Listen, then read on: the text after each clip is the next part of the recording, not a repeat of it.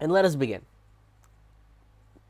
So, uh, I kind of missed this uh, yesterday until like later in the day that um, Bernie Sanders had endorsed Joe Biden, and um, I had a feeling, uh, you know, if we if we didn't see it now, if we didn't see it, um, you know, because he suspended his campaign, what ten days ago, maybe.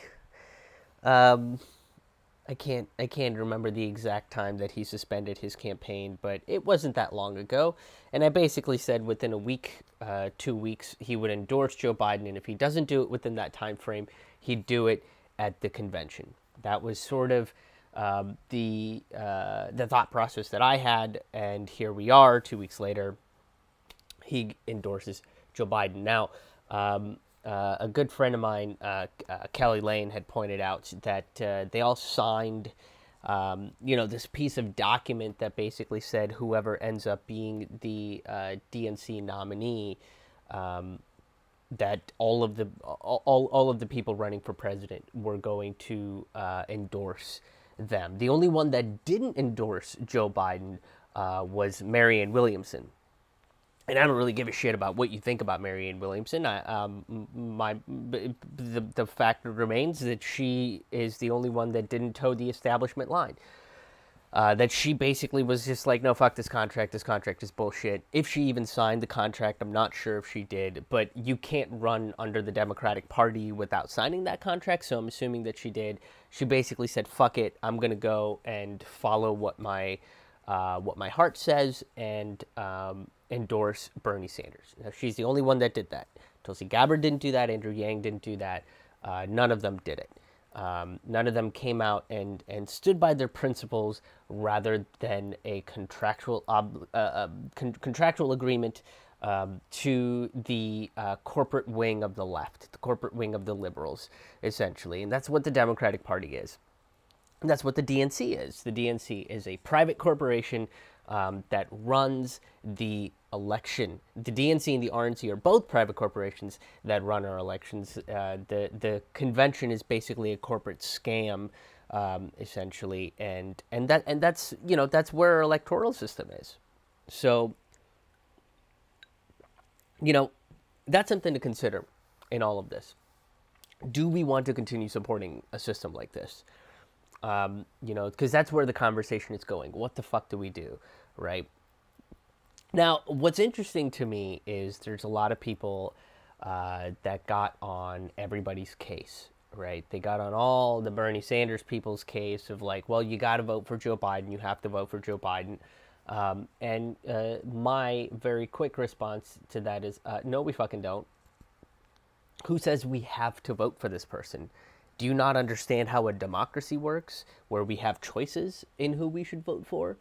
Um, and not all Democrats are monoliths. And I am not even a Democrat. Like, I don't consider myself to be a Democrat.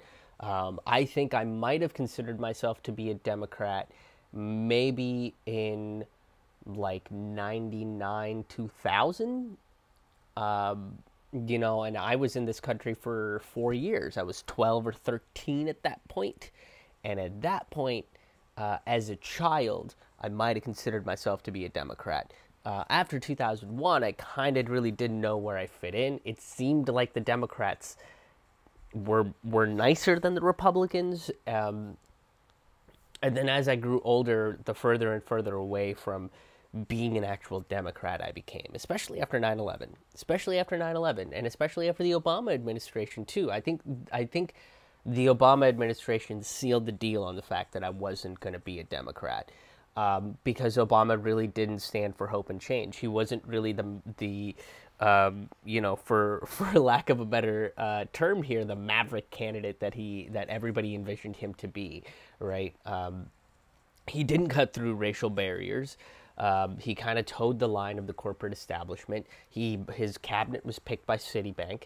Uh, he let the fossil fuel industry basically do whatever they want while you know going on a public level and um, and saying some nice platitudes about how we need to protect the earth and climate change and climate change and whatever. Uh, you know, he it, it deported the most amount of immigrants, created ICE, which is clearly a problem, which, which is which is escalated the immigration problem and the xenophobia and the racism that that was already existent at that time.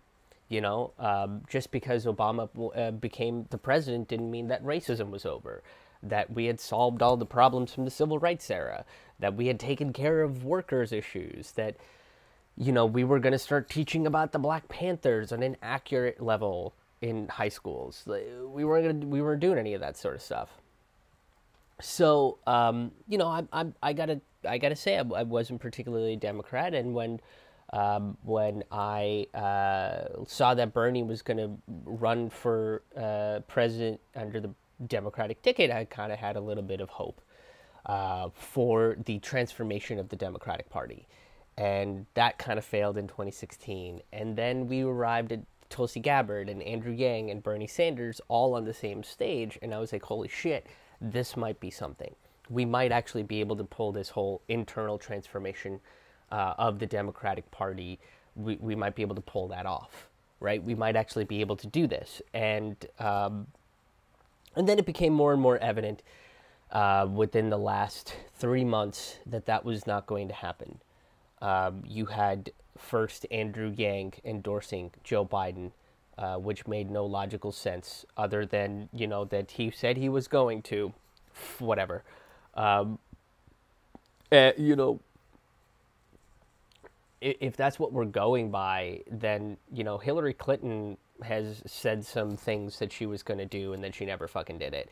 Uh, Obama said he was going to do some things, and then he never fucking did it. This whole he said he was going to do it is not a viable enough of an argument. Where if you're going to stand by your principles, then fucking stand by your principles. Uh, Tulsi Gabbard, same thing. She endorsed Joe Biden. You know, there was a Jimmy Dore interview um, and I watched that interview, and you know, um, I I still think um, the value of these candidates uh, that uh, ran in the race was important. Uh, you did have Andrew Yang bringing universal basic income, even though it was sort of this very rudimentary version, this very compromised version of universal basic income, but we were still talking about it.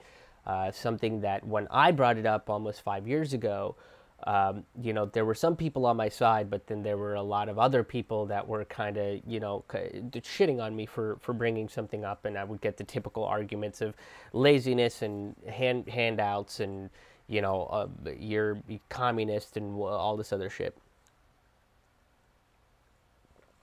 Um, same thing with Tulsi Gabbard, but having the anti-war voice, um, having somebody that was holding the DNC accountable for what they were doing all these were kind of important things. And then you had Bernie Sanders, who was kind of who, who kind of inspired these movements um, by by being the person that was consistent for 40 years.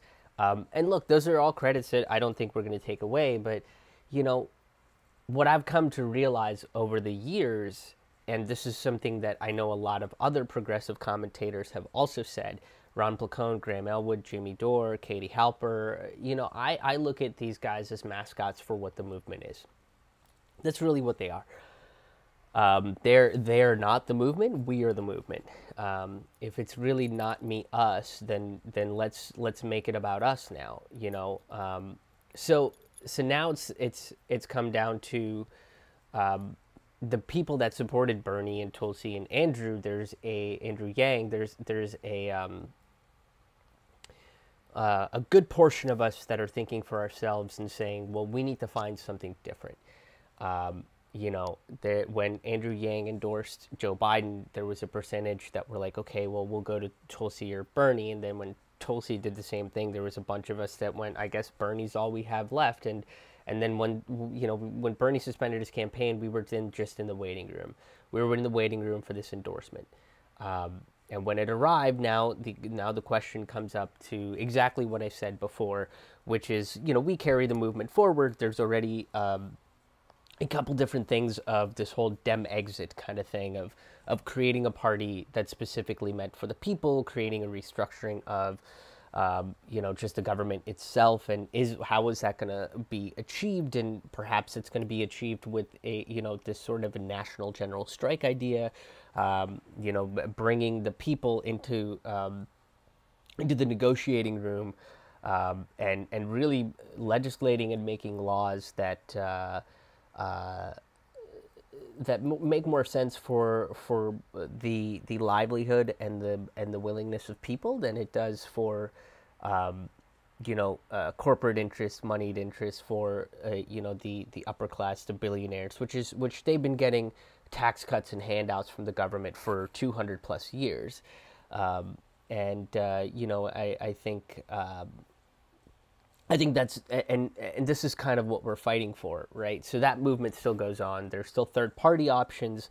There's a lot of different options where we don't have to co-opt into this two party system. And there are still people, intelligent people that I'm friends with that that you know, and it and it saddens me to some degree um, that I see these intelligent people that are on the pulse of everything that that that are that are willing to have um, you know open uh, heartfelt, compassionate, intellectual uh, discussions that want me to vote for Joe Biden. Um, and they want me to vote for Joe Biden because he's a, he's not Trump, right?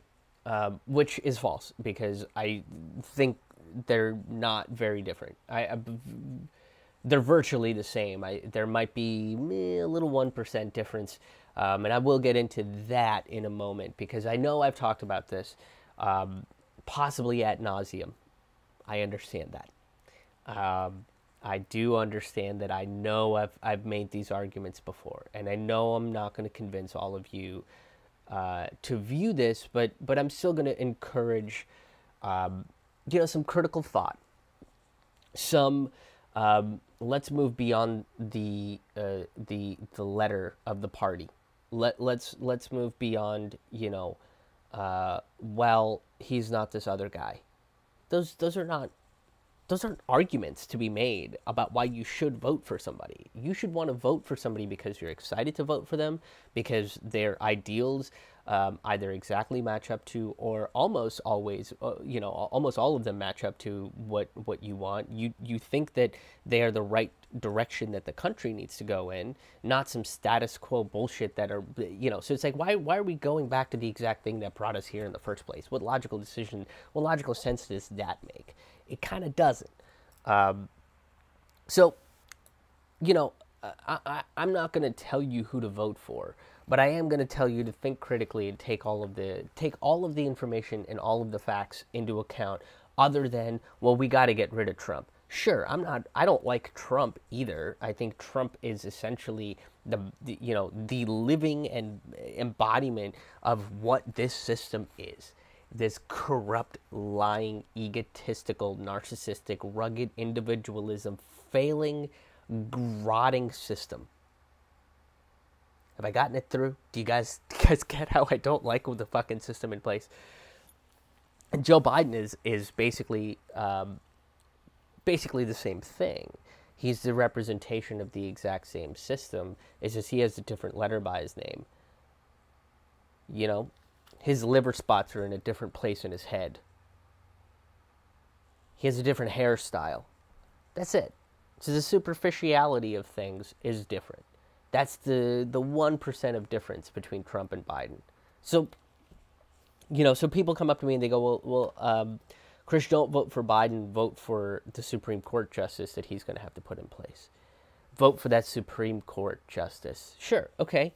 If that's what we're voting for, what are, what is the likelihood that Joe Biden is actually going to uh, put in a progressive Supreme Court judge that is on the side of the worker, that is on the side of human rights, um, that probably understands that a 200 year old document, um, you know, that has a couple of amendments to it isn't particular, like maybe that's not the best way to, to run a country that's constantly changing and evolving, that, that has made a lot of social strides in the last two decades alone. Um, perhaps there's going to be some discrepancies. Perhaps the language in which it's written is not particularly great, and maybe we need to reevaluate that. maybe we need to go by the judgment of the times rather than the judgment of somebody that wrote it 200 years ago, hoping that it would last for as long as it did. Um, I, even one of the founding fathers was like, yeah, we should probably have a revolution every 20 years, and we should probably change this thing up every 20 years.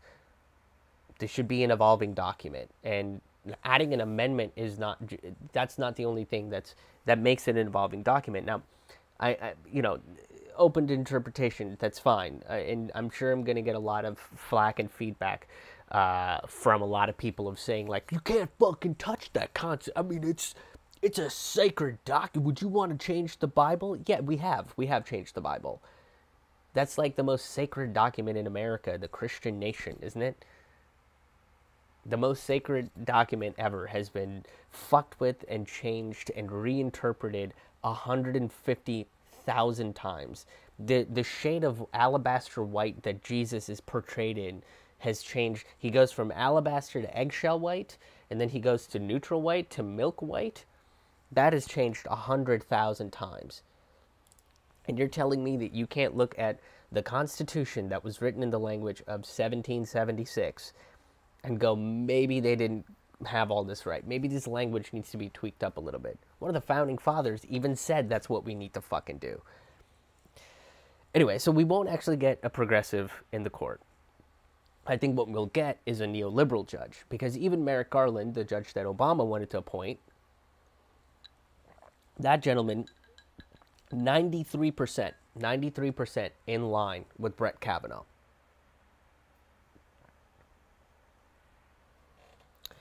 So, you know, are we going to get a progressive judge? So Roe v. Wade comes up. So what? We're gonna we're gonna either go to um, an authoritarian limit on uh, the subject of abortion um, and open up a Pandora's box to become, you know, to to uh, renegotiate and reconvene on all of these other um, um, Supreme Court cases that um, have granted specific civil rights and human rights um, to, you know, overreach and create an authoritarian jurisdiction on those. Um, or we go, well, we're not going to say whether it's legal or illegal, but we're going to leave it up to the states. Yeah, and that worked out really great you want to go ask people in Georgia or Alabama, Mississippi, Louisiana, Texas, Missouri. I mean, the list goes on. Do you want to go ask those people how that worked out? So, you know, the, the problem is not the Supreme Court. The Supreme Court wasn't even meant to have this much power to begin with either. Um, so maybe that's another point of discussion. But that's, I mean, that, you know, that's not a viable enough argument if we're talking about progressive judges that are going to go up against these neocon neoliberal judges, how many people want to overturn Citizens United other than Ruth Bader Ginsburg right now? And I'm not even sure if she does anymore. Um, the last time I checked, I know she did. There was probably a couple of justices that did. If you know how many justices did go want to go against something like Citizens United, um, leave a comment because I'm I'm um, failing to remember this information right now. so, uh, forgive my humanity in, in this uh, situation. But if you know the information, leave a comment. Leave a comment, and I will, um, you know, I will take a look at it. I'll, I'll, I'll respond to it, and you know, I think we'll all kind of be better for it. But I'm, I'm, I'm gonna guess uh, Ruth Bader Ginsburg and maybe one or two other people, um, you know, that were that were um, lefty judges voted against something like Citizens United. So I don't know if the judge's thing is a viable argument. Uh, so let's go down the rest of the list. Cognitive decline. I mean, this guy, that has been on everybody's lips since the first fucking debate. I mean, he got hammered, and everybody was like, "Oh, maybe he just didn't expect to be hammered as much as he." And then it was like the next debate was just like he's stumbling and eking his way by through every response that he could possibly give. He can't finish a sentence. He's talking about corn pop and record players and rubbing kids rubbing his fucking hair and living with cotton. It's like, what are you saying? What do you say? Create a narrative in your head, Joe be able to form a full concrete thought. I don't think he's cognitively doing well. I'm not trying to make fun of him. I'm just trying to point out something that is a reality that we need to face. Don't you think that eh, that if if if he's going to be the leader of the free world, that he should have some functioning level of cognition. Bringing that at the at the very top, at the very top, because that's something that no corporate media no mainstream pundit or any journalist or anybody from his fucking campaign will actually address with anybody. They actually won't talk about it at all. In fact, that's actually one of the things they said is after a while, uh, I think when it, in like December or something, they basically stopped talking about his cognitive functions. And then if you did bring up his cognitive function, you you're you know oh you're just trying to get Trump to win. Oh you're just a, a Putin puppet. You're a, a Russian agent some McCarthyist bullshit will happen. Right? Now, Trump is also uh, in cognitive decline. The only difference is, uh, and Matt Taibbi brought this up, fantastic journalist, by the way, should, everybody should check out Matt Taibbi. He brought this up when he was on Joe Rogan's podcast uh, back in November. Is there's a very good chance that Trump is on speed, right? Like he takes these diet pills, um, and and that's just speed uh, and you know that's that's to kind of like amp you up and and it makes you more it gives you like a better stream of consciousness and I've, I've never done speed. I don't fucking know what it actually does to you or or, or anything like that but you know um, it's supposed to help improve that the, the the lack in cognition but i'm sure it's also killing him on the inside. So there's also that. If if if the dnc gave joe biden speed i think he would be dead moving on. Uh, no Medicare for all. That was something that Biden said that he was not going to do. Um, he even said it if Medicare for all came to me as a bill uh, that was supported by all the people uh, in his party, uh, he'd veto it as president. In the middle of a fucking pandemic, he says this. In the middle, when, when hospitals are stressed out, when the when the profit-driven uh, healthcare system isn't able to actually do anything to help its citizens, he says this when everybody's asking for a way to, um, you know, financially help uh, each other, and Medicare for all would be a way that it to to to help everybody that is in need during a global pandemic. He goes, no. We have to let the insurance companies make money.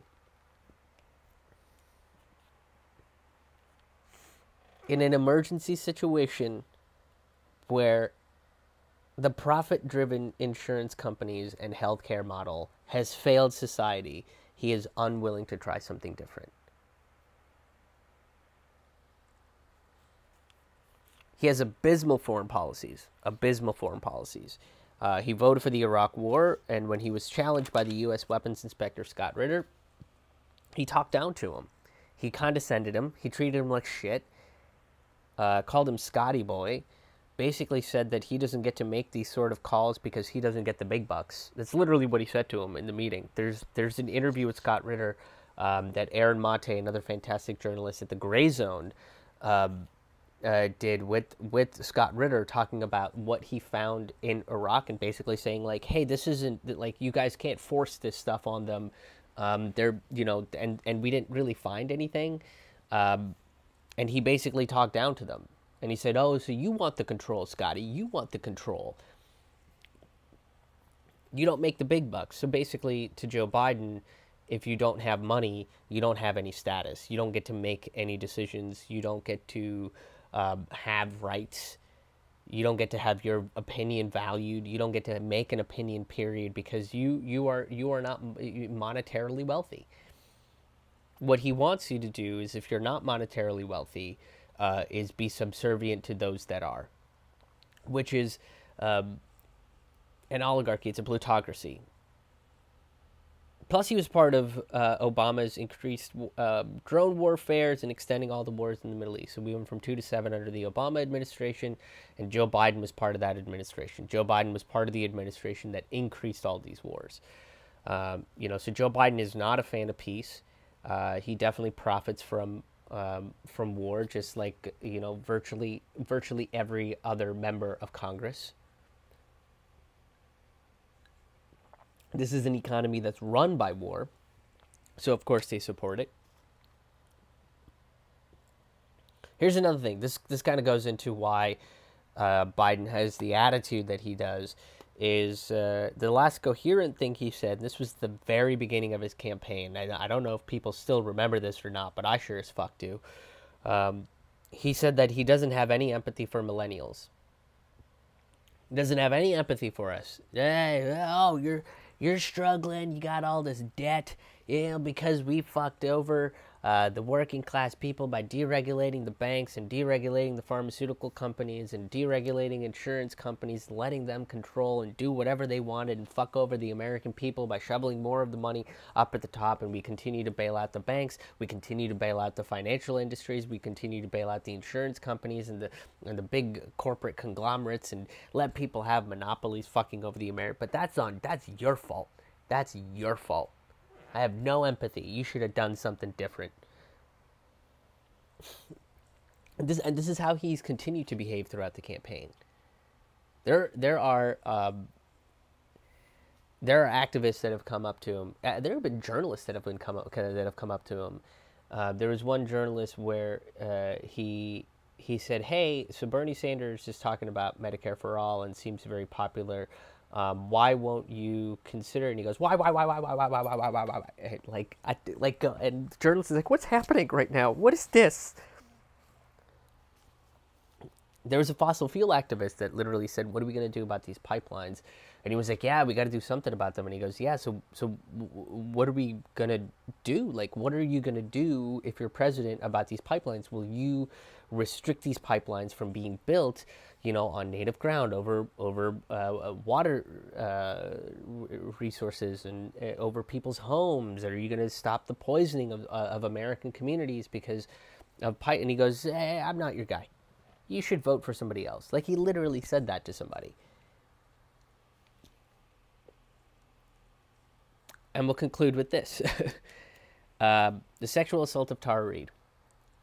Um, Tara Reade originally went on Katie Halper's podcast and told the story of how Joe Biden sexually assaulted her. I'm not going to uh, go go into that that story. I, I, do recommend that you guys go check it out. And then she and then um, you know she was on uh, Rising, um, Hill.tv, Krystal and Saagar Enjeti. Uh, great program. I enjoy it. Uh, you know, I, I don't agree with them all the time, but I like the coverage that they do. They're they're and, and the way that they cover it. They're very thorough and they let Tara talk. Um, and she points out, uh, you know, some of the horrible things that Joe Biden uh, said to her as he was sexually assaulting her, like, "Oh, I thought you liked me," um, and then when she resisted and, and you know eventually got him off, he said that she was nothing to him. This is Joe Biden, hundred percent through and through. This is who he is. And it explains his attitude towards Anita Hill. Because to Joe Biden, if you're in a position of power, um, any behavior of ill repute is uh, is fine. The aggression, the condescension, all of that makes sense if you look at it through that lens. If you believe that you're in a position of power and you can do and get away with whatever the fuck you want. Of course, you're going to treat Anita Hill the way that you did. Of course, you're not going to apologize to her. Now, Joe Biden hasn't said a goddamn word about it. And I'm sure he has a team of lawyers that are like, shut the fuck But dude, you can't make a sentence come out of your mouth that makes any Do you really think an apology on an issue this big is going to even make sense. Like, and then you have fake, fake fucking progressives like Alyssa Milano that completely ignore Tara Reade, but they do come after Brett Kavanaugh. So where where is she on that Me Too movement? You know, so so that's a fake progressive right there. And these are the greatest hits. Uh, there's a lot of stuff that I'm missing. The segregationist stuff. He was he he supported segregationists in the during the civil rights movement. He's never been on the side of the worker. I'm sure I'm missing a bunch of stuff. That'll be a fun comment section to see is how many people come up with other shit that Joe Biden has done that I didn't talk about. I just I just I just made the greatest hits. These are just the greatest hits. Uh, things that I think need to be talked about pretty consistently. Because here's the thing: uh, Trump has also convicted um, uh, or, or been accused of sexual assault several times by many people, right? And I'm sure uh, there were seven women that that came out and said that Joe Biden made them feel very uncomfortable because he got way too close and lingered on a hug and he holds children and sniffs them. Um, very. Like it's creepy to watch those videos. Um, Trump does the same thing.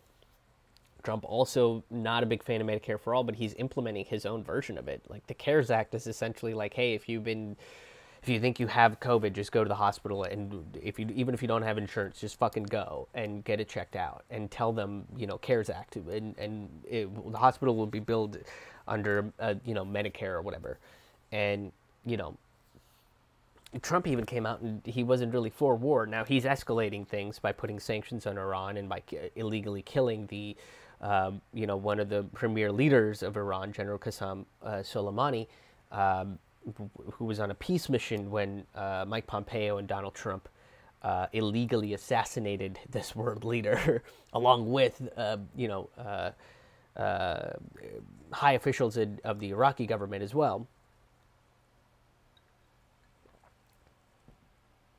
So, you know, where are we at?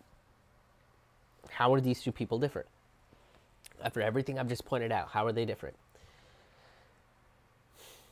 I don't really see that much of a difference.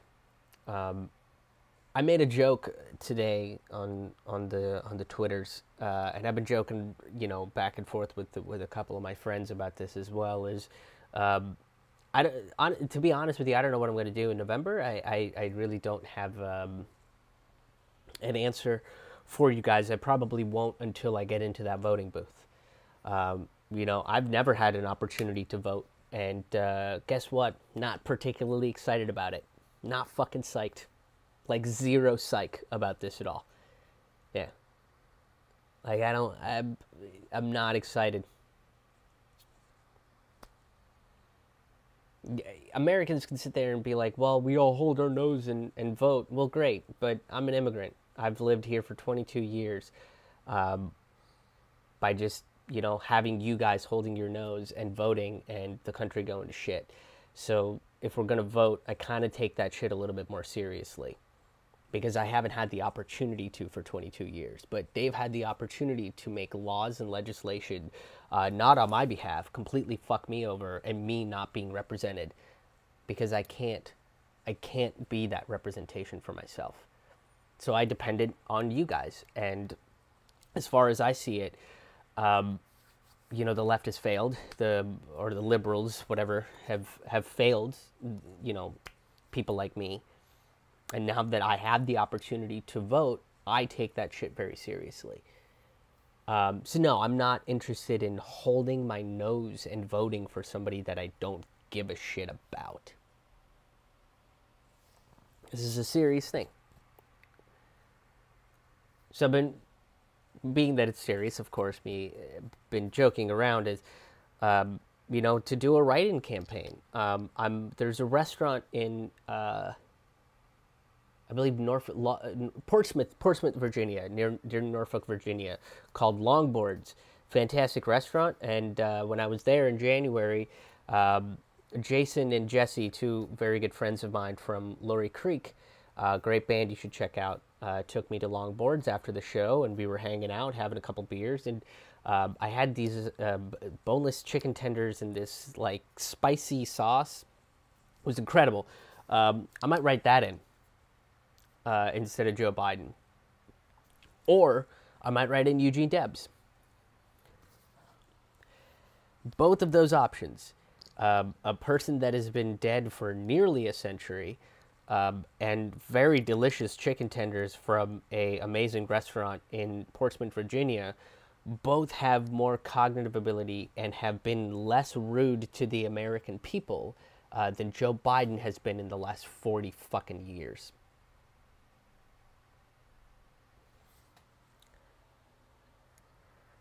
Cheers.